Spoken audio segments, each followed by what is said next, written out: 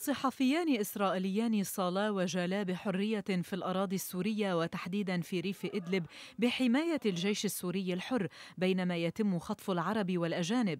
هذا ما بدا واضحا في الفيلم الوثائقي الذي بثته القناة الثانية التجارية في التلفزيون الإسرائيلي مساء الاثنين والذي أعده مراسلها الإسرائيلي إيتاي أنجيل بمشاركة الصحفي الإسرائيلي أمير تيبون عن المعارضة السورية.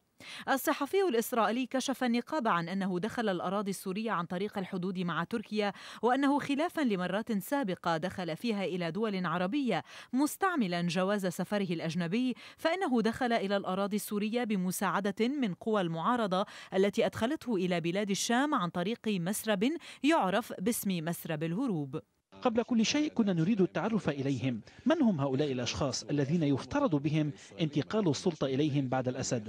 كيف يرون سوريا؟ كيف ينظرون إلينا نحن الإسرائيليين؟ وبالمناسبة التقينا بينهم عناصر كبار كانوا قد حاربون عام 1967 وعام 1973 ولفت الأشخاص الذين تمت مقابلتهم إلى أنهم لا يخشون من عرض الصور في التلفزيون الإسرائيلي كما أنهم لم يعارضوا إجراء مقابلات مع صحفي إسرائيلي يعمل للتلفزيون العبري في دولة الاحتلال.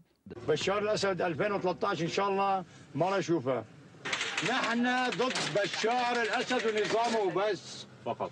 المسيحي ما بنحكي معه اليهودي ما بنحكي إذا بيجي لعندي أنا شارون بخلي أنا ضد بشار هو عيني. شارون الإسرائيلي شارون الإسرائيلي إذا بيجي لعندي وبخلي أنا يا أبو فادي ضد بشار هو عيني. يشار إلى أن هذا القائد الذي استدعى شارون اسمه الحركي أبو فادي وقد طلب عدم الكشف عن وجهه وعن اسمه الحقيقي مبررا هذا الطلب بأنه ما زال مطلوبا للنظام الحاكم في دمشق ويخشى أن يتعرف عليه من خلال الفيلم.